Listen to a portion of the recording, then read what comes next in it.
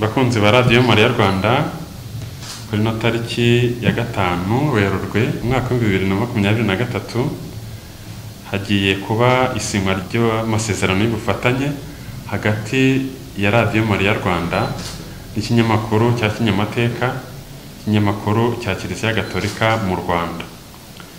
Ayo masezerano rero akaba akubiye mu ngingo cumi n'ebyiri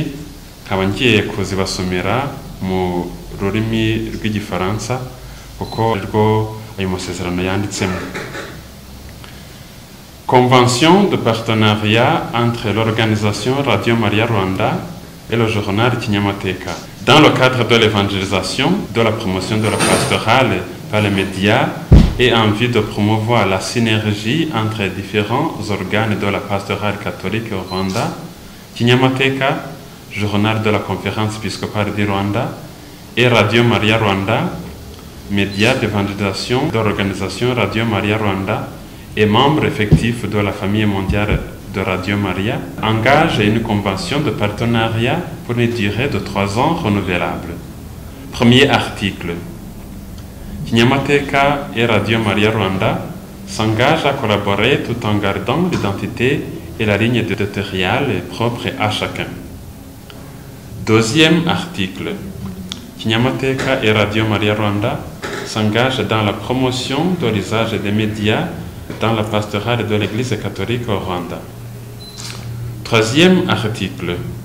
Kinyamateka et Radio Maria Rwanda s'engagent à échanger des journalistes et des correspondants pour servir les deux parties suivant l'identité de chacun.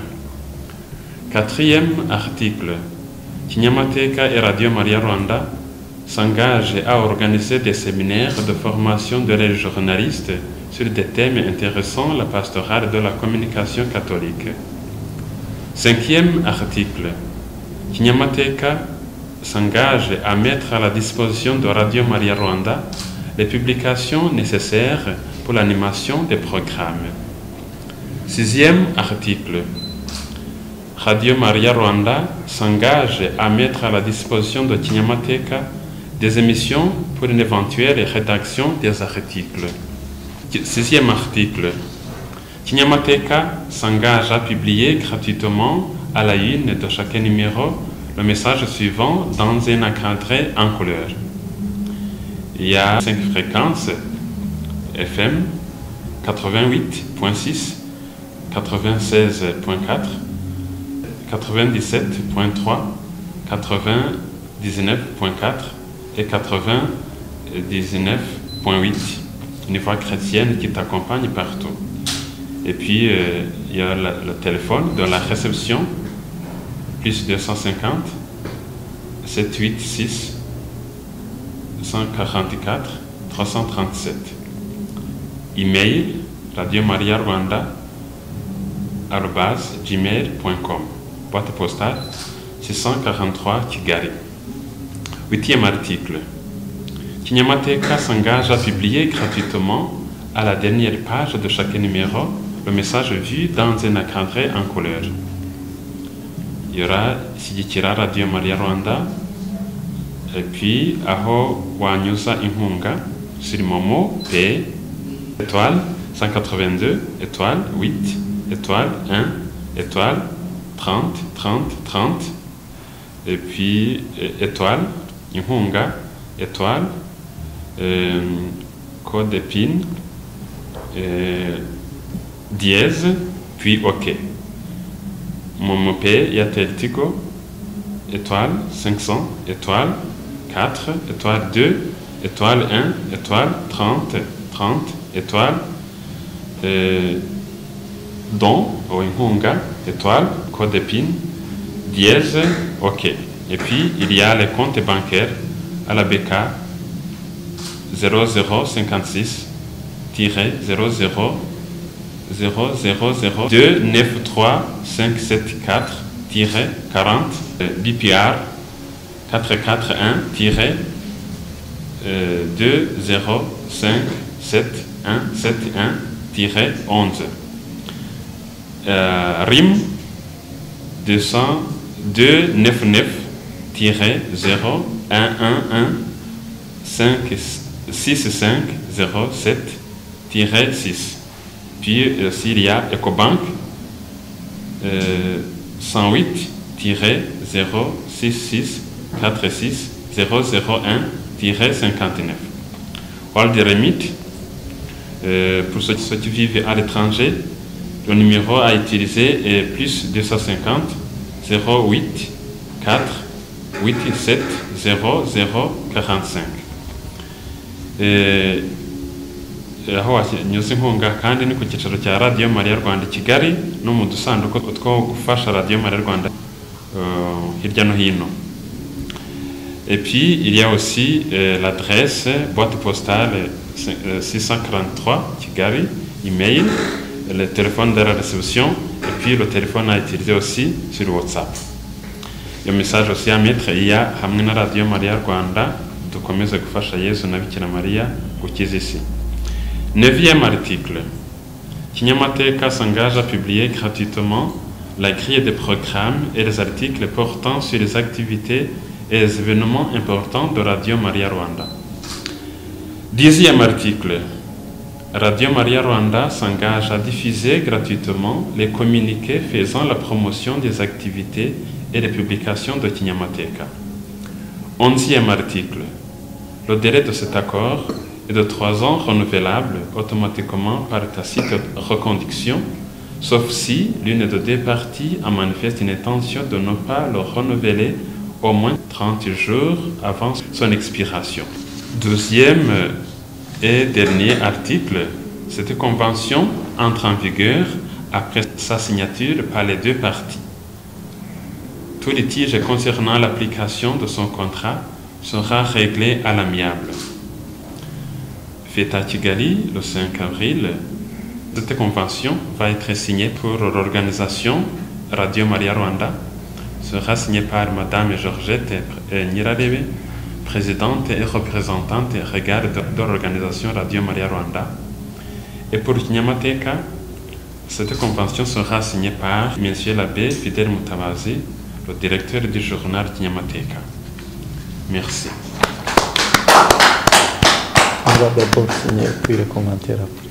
Maintenant, ils vont procéder euh, à, la, à, la, signature, à signer cette convention, et puis les commentaires vont être euh, faits après.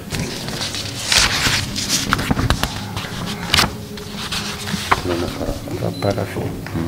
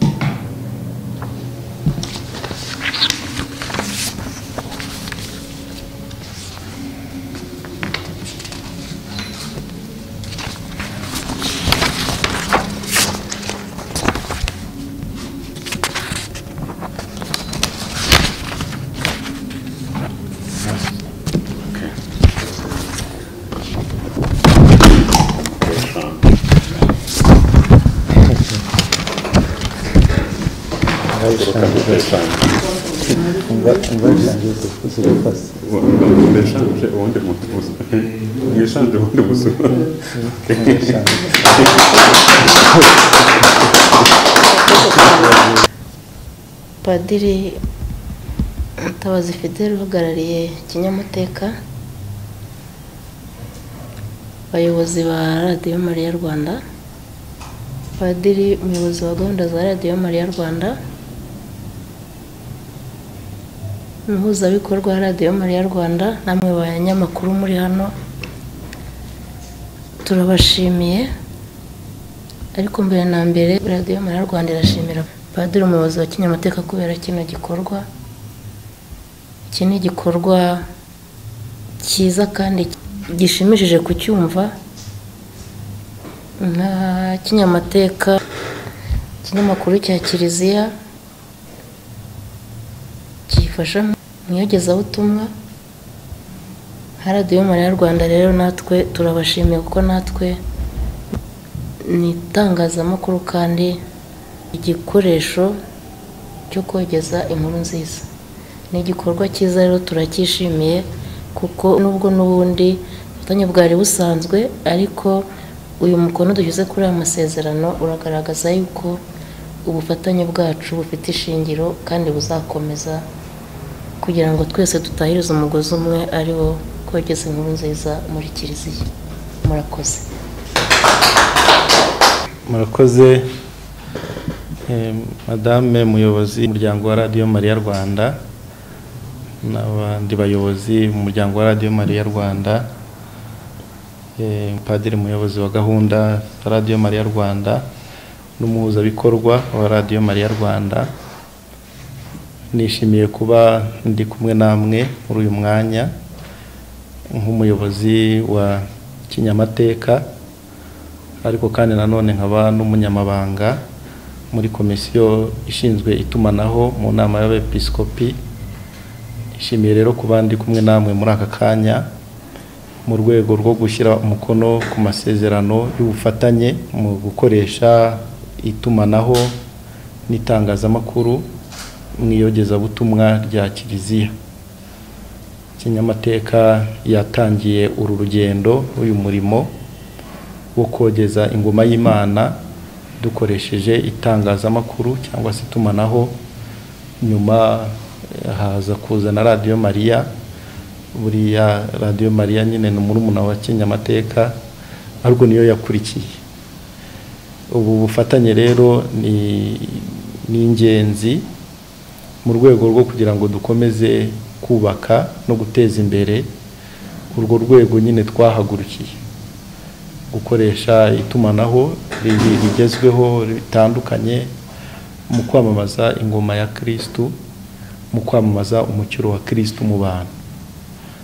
Aya masezerano ni ubufatanye aravuga ingingo zitandukanye zo twifuza gufatanyamo. Ingingo ya mbere na yo tubereyeho ni iyogezabutumwa gufatanya mu iyogezabutumwa buriya radiyo mariya ira- iravuga igatanga ubutumwa igatanga inyigisho. Ariko rimwe na rimwe hari uwo bucika twaravuze tuti ko iyo umuntu yanditse ikintu kigumaho hari bwa butumwa bukomeye buriya umuntu agiye anabwandika uwo bwacitse ntiya ntiyabusoma akabwumva. Ubwo niyogezabutumwa turavuga tuti se kinyamateka ko hari igihe abapadiri n'abandi bahanga muri teolojiya bajya bagira batya bakandika inyigisho ikomeye bacukumbuye bashakashatse. Buriya hari uwayivuga no kuri radiyo umuntu atagombye kumushimuza ngo amugarure aze kongera kubisobanura. Kandi yari yakoze ubushakashatsi akabyandika hari ubwo ya nyigisho ntiyafasha abantu. Aho ngaho ni mu iyogezabutumwa. Tuvuga ku bijyanye no guteza imbere umurimo dukora.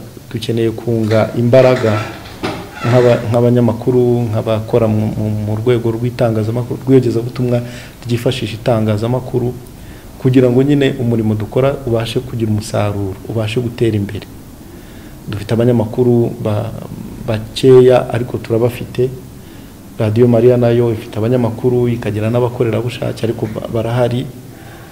Dukeneye rero guhuza imbaraga kugira ngo tubashe kugera ku bakirisitu aho bariho ahantu hatandukanye.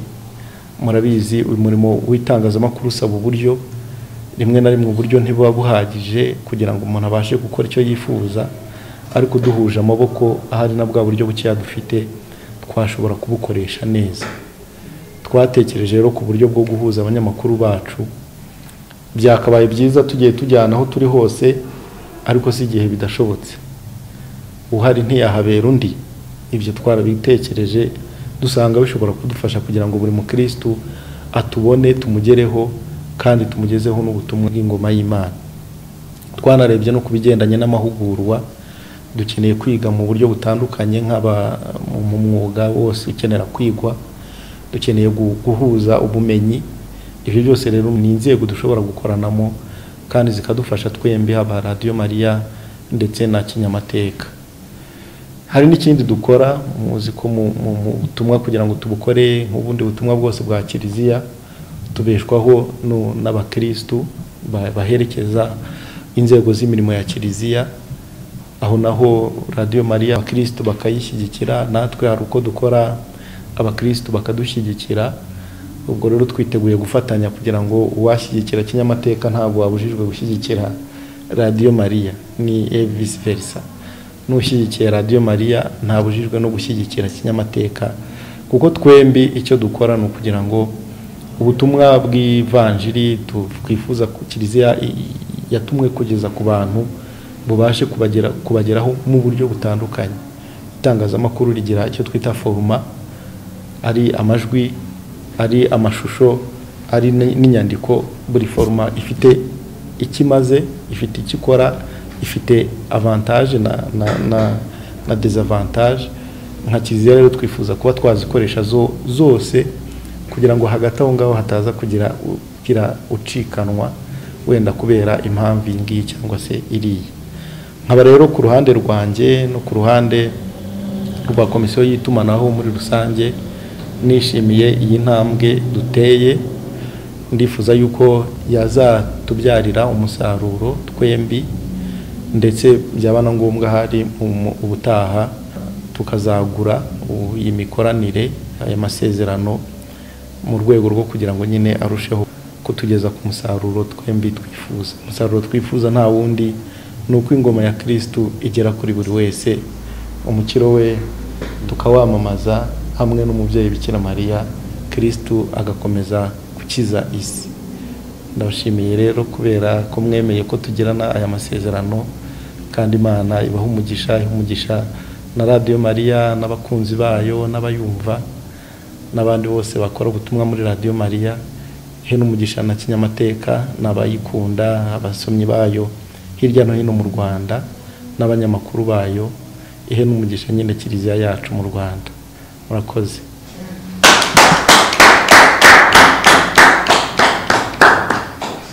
Murakoze ndabashimiye mwese mpereye ku muyobozi eh, w'umuryango wa radiyo mariya rwanda ndetse nawe padiri umuyobozi wa kinyamakuru kinyamateka. Ayo masezerano azatugirira akamaro eh, by'umwihariko nk'umuyobozi wa gahunda za radiyo mariya rwanda eh, bizadufasha kugira ngo dukomeze ubutumwa radiyo mariya rwanda ifite bwo kogeza inkuru nziza kandi ikaba ari nabwo butumwa kinyamateka ifite.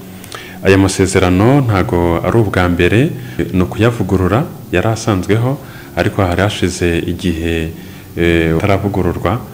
Eh, tukaba twishimiye rero ntambwe y'uko avuguruwe kugira ngo bifashe ibyo bitangazamakuru bya kiliziya gukomeza ubutumwa. N'ubundi hari byajyaga bikorwa ariko buzarushaho kuba hari inkuru zanditse muri kinyamateka. Ubwo butumwa bukarushaho kugera eh, ku bakunzi ba radiyo mariya rwanda ari mu rwanda ndetse no mu mahanga ndibuka nk'urugero nk'inkuru padiri eh, Joseph Kageruka yanditse kuri bazilika. Iyo yaratambutse kuri radiyo mariya rwanda mu gaseke k'ubumenyi. Eh, kandi ndumva byaragize akamaro bisobanuro kuko bazilika eh, ntoya ya kabgayi iri muri yubere imyaka ijana. Eh, kandi hakaba harakozweho inyandiko nziza nk'uko babivugaga noneho tukanayifashisha eh, ubwo butumwa bukagera ku bantu benshi. Rero ni nako tuzakomeza gukorana muri ibyo bice bitatu wavuze mu kogeza inkuru nziza muri uko eh, gufasha kugira ngo ibyo bitangazamakuru bibone ubushobozi eh, kandi no- mu- guhugura eh, n'abanyamakuru. Ubwo bufatanye rero buzadufasha radiyo mariya rwanda nanjye icyo nakora ni uku nguko komeza kubashimira kandi no kwishimira iyo ntambwe. Dukomeze rero ubufatanye twogeze ingoma ya kirisitu hose yesu kirisito amenyekane n'umucunguzi wacu. Murakoze cyane.